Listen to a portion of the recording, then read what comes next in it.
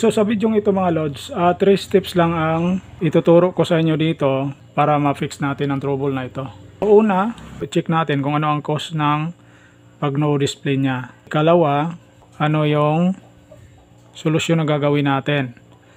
Tapos ikatlo ay kung meron tayong papalitan, uh, papalitan natin. Okay, so tatlo lang.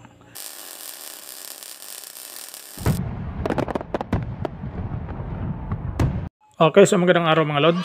So meron tayong i-repair. Uh, ang dinala ko lang dito sa bahay ay itong board. So kapag may tiwala sa iyo yung mayari, talagang ipapadala nila ang board. Oh, pero kung hindi ka mapagkatiwalaan, hindi papadala sa iyo ang board or kung ano-anong repair. So sharp pa rin ito na board. Yan. Kalimutan ko lang kung anong tawag yung TV nila na sharp. Ito sharp pa rin.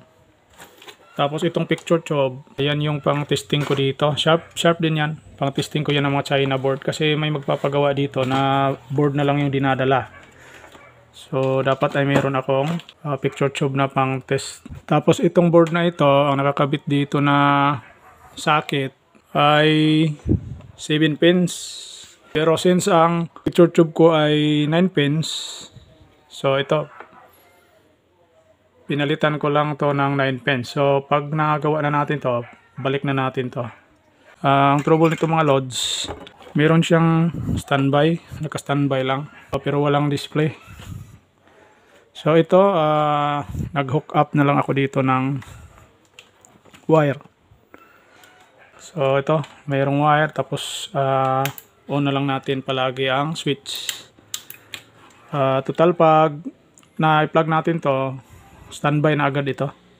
Tapos kailangan pa nating magpindot sa channel para mag turn on siya. Okay? So naka standby pindutin natin ang channel.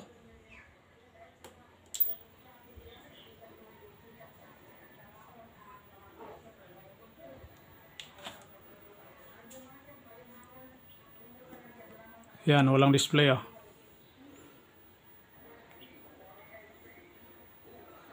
So ilang mga segundo na wala pa ring raster.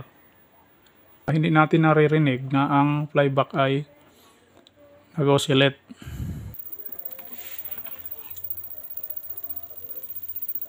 Yan, lumalagitik ang narinig niyo ba yon? May clicking sound ang flyback. So mag voltage checking tayo. Uh, unahin natin ang B+. Dito 68 so low voltage ang B+. Para malaman natin na nag-oscillate ang or umaandar ang flyback, dito tayo sa 180. Check nyo ang 180 kung meron. Ayan o, 42. So, umaandar ng konti ang flyback pero dapat 180 to, 170 plus. Pero 42 lang. Tapos dito naman sa mga low voltage na output. Uh, dito ay 7 volts lang. Uh, ibang output. Uh, 5 lang. So para ito sa audio. So hindi pwede na 5 lang ang supply sa audio. IC so low voltage. Kapag nag low voltage ang B plus i-disconnect nyo ang B+. Papakita nito dito ah. So nakita nyo ba itong inductor na ito? Uh, itong coil na ito.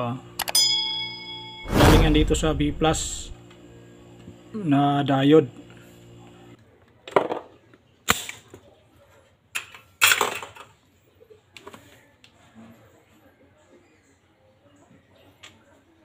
Okay, so natanggal na. Yan. So, i-plug natin. So, abang natin dito. Dito tayo sa diode ah. O, dyan.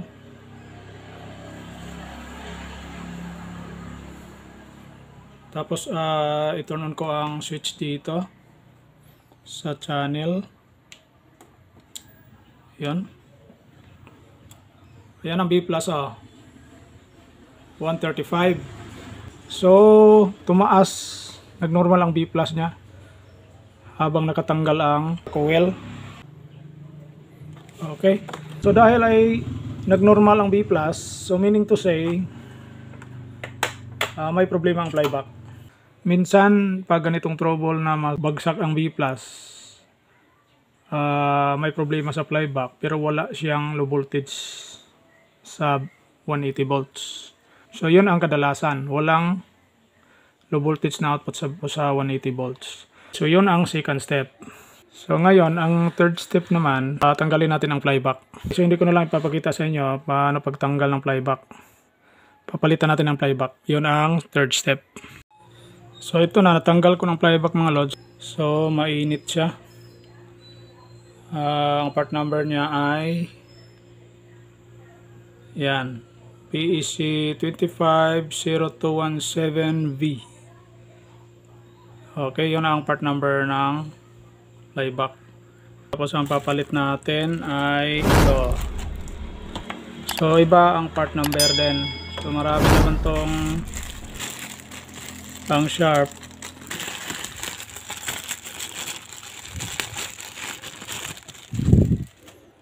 Ito siya.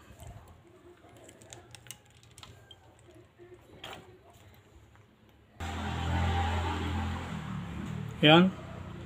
Uh, BC25 0214G. So, ang pin configuration nito ay pare-pareho lang. Okay, so ito, kabit natin to.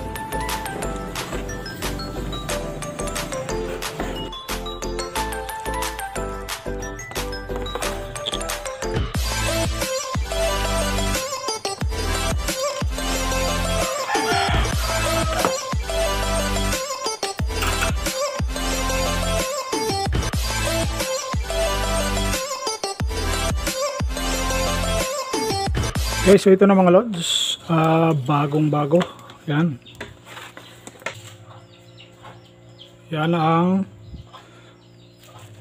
bagong flyback. Ito yung lumang flyback nga. Okay.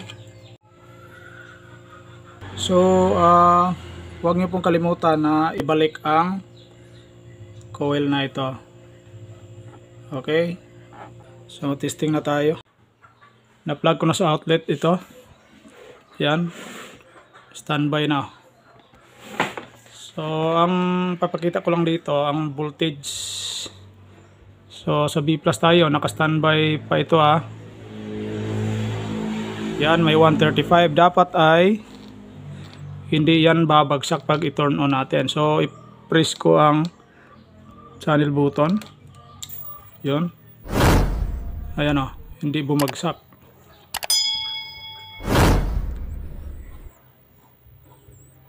Okay. Tapos ay check natin ang 180 niya. So mataas ang 180 volts niya. Tapos tingnan natin ang display. Meron na ba? Yun. May blue screen na siya pero hindi full.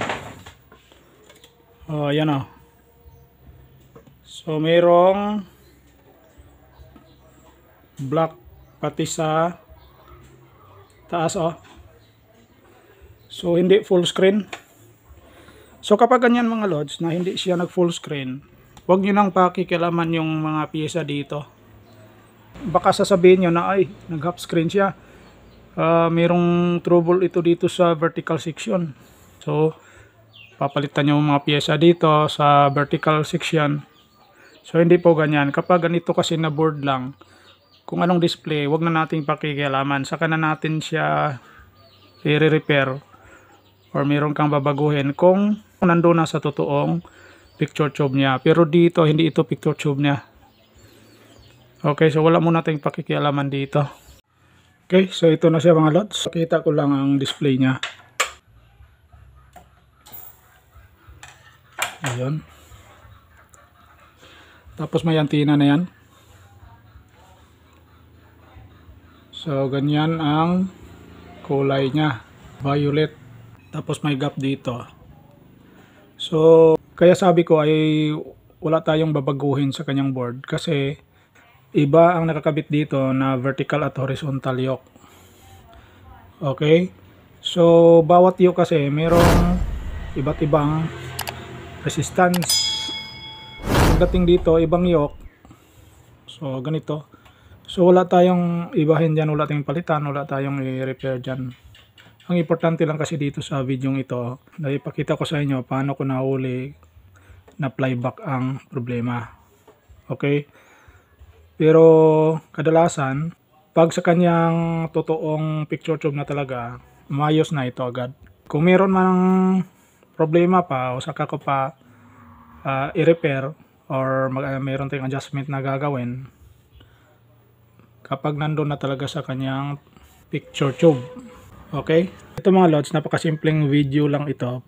Pero sa mga hindi pa nakakaalam, lalo na mga newbies, uh, meron kayong matutunan dito. Okay? So, yun lang.